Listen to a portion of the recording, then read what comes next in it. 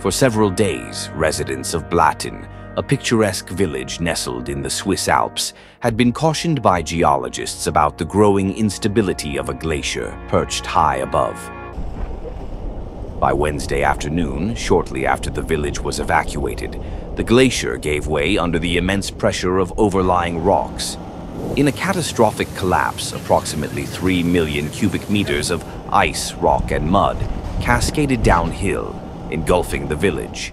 Authorities reported that around 90% of Blatten was buried by the debris.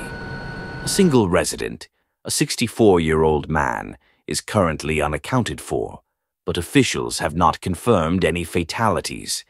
The massive flow of rubble stretched more than a mile, damming the river that runs through Blatten and inundating what few buildings remained standing.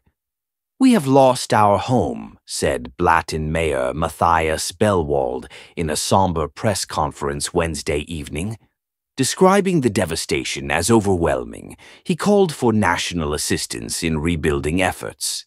Stefan Ganzer, a Valais provincial councillor, told local media that the scale of destruction left the village barely recognizable. Investigators believe melting snow at high altitudes may have contributed to the disaster, though the exact cause remains uncertain. Rescue crews deployed thermal imaging drones and expert personnel in the search for the missing man. The debris flow not only obliterated much of the village, but also created a secondary hazard. On Thursday, regional authorities issued an alert. The landslide had blocked the Lonza River, forming a lake that began to flood the remaining structures in Blatten. As a precaution, engineers increased the holding capacity of a downstream dam, and nearby communities were evacuated in case of potential overflow.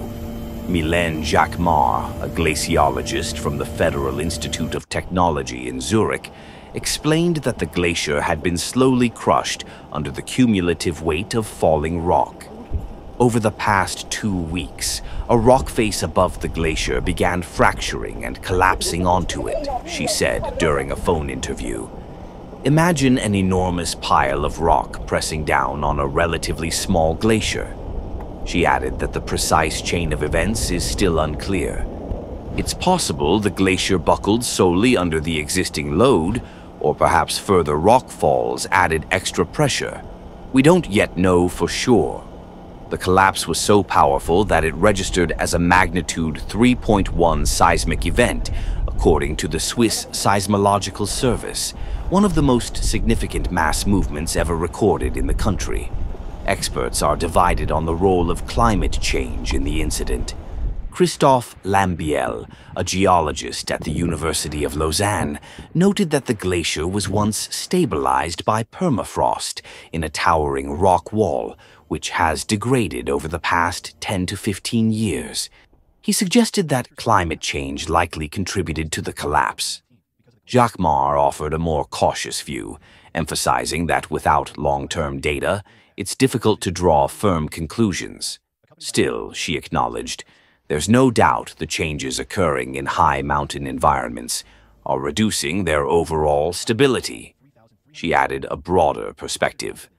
Mountains evolve over thousands of years through natural cycles of buildup and breakdown.